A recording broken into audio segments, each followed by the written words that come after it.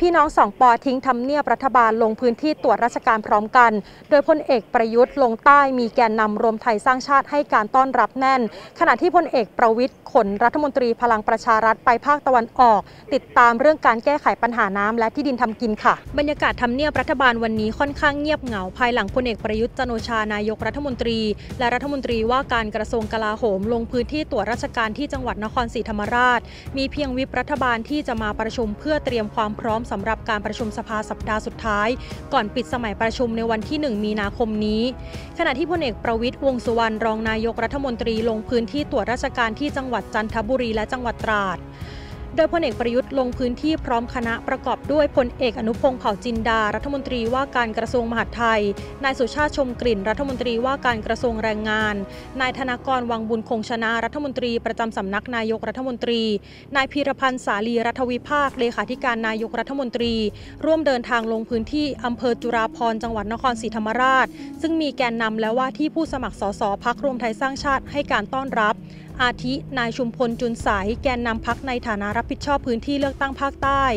นายสุพลจุนใสว่าที่ผู้สมัครสสชุมพร นางสาวพิมพัทราวิชัยกุล ว่าที่ผู้สมัครสสนครศรีธรรมราช นายวิทูลกรุณา ว่าที่ผู้สมัครสสนครศรีธรรมราช นายสิทธิรักษ์ทิพย์อักษร ว่าที่ผู้สมัครสสนครศรีธรรมราช นายนาดายนัท โชคอำนวยว่าที่ผู้สมัครสสระนอง และยังมีนายอายาสิทธิ์ศรีสุวรรณสสนครศรีธรรมราชพักพลังประชารัฐ รวมถึงนางอารีห้องสีปานมารดานายธนกรมาร่วมให้การต้อนรับนายกรัฐมนตรีด้วย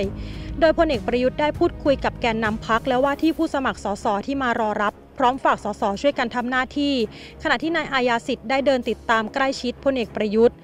ซึ่งทันทีที่เดินทางมาถึงได้มีการแสดงเต้นบาสโลป ต้อนรับนายกรัฐมนตรีและคณะ ส่วนบรรยากาศณที่ว่าการอำเภอจุฬาภรเป็นไปอย่างคึกคัก ประชาชนและนักเรียนในพื้นที่ใกล้เคียงเดินทางมาร่วมต้อนรับ ถือป้ายให้กำลังใจจำนวนมากอาทิ รักลุงเสมอ เทหมดหน้าตักให้ลุงตู่ ให้ทั้งใจและคะแนน สู้ๆคนจุฬาภรเป็นกำลังใจให้ลุงตู่ลุงตู่ที่หนึ่งในใจเรา คนใต้รักใครรักจริงเป็นต้น